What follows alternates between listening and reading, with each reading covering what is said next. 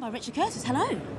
Hello. Very Is this good your good here. side? I'm just checking. I haven't got one. Really? Yeah, I haven't got one. When I walk away, I look okay. Good, good, good. Now listen, can I just check? Is this true? Because we need to get the Kleenex out if it's true. Are you not going to direct anymore? Is this the truth? Uh, I think so. Bill Nighy's getting very old. You know, I think I, I'd have to do t- too many deathbed scenes. Yeah. the, the message of this movie is just try and relish every moment of your life, and, and movie making is a bit tense. Yeah, And people like Hugh Grant and Bill Nighy have got a lot to thank you for. I mean, they, you put them in work for a long time. I don't know about that. They were in work before me, and I'm sure they'll work for decades afterwards. Hugh's got so many other facets of his acting style that he's still to show.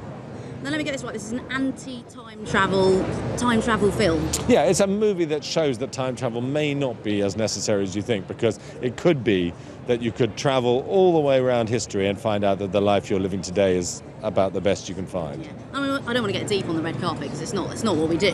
But there's a kind of philosophical side to this. It's about enjoying life. Yeah, it is. It's a it's a film about, you know, as I've got older, I've seen that no matter how much effort you make, you can't avoid the bad bits of life.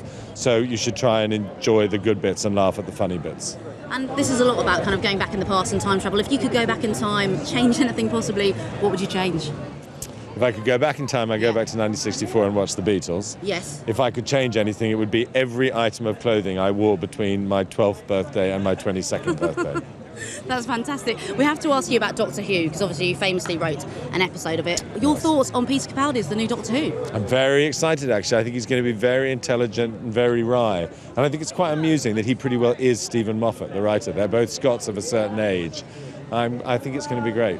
And what about the future for you? What, what are we going to be? Definitely no more directing. Can we not twist your arm? Yeah, no, I'm going to, I'm, you know, I'm writing things. I've got a movie being shot by Stephen Daldry in Rio de Janeiro. But I think you might just notice me hanging around Hyde Park uh, uh, looking happy a And bit a little more. bit in Rio occasionally here and there. yeah, there we go. It's lovely to see you. And you. Thank Thank you very, much. much Have a good evening.